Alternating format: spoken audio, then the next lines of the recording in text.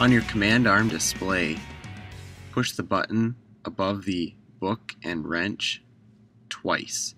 That gets you to the calibrations page. Use the selector knob to scroll down to the calibrations drop down. Use the check mark button to select that drop down and then scroll down to the header, pushing the check mark again. At the bottom we notice that it says the combine must be on level ground and engine running at high idle. As we see here, our combine is at full speed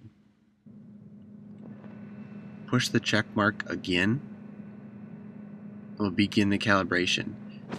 This says here to decrease the cutter bar pressure below 1000 psi.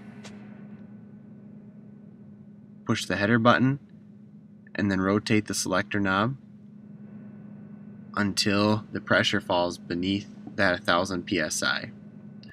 Once it hits that 1000 psi, it will take us to the next screen where we need to lower the header all the way to the ground.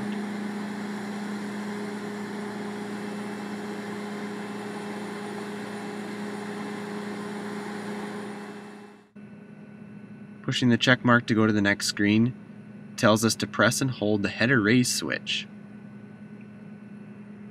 so we can begin to raise the header.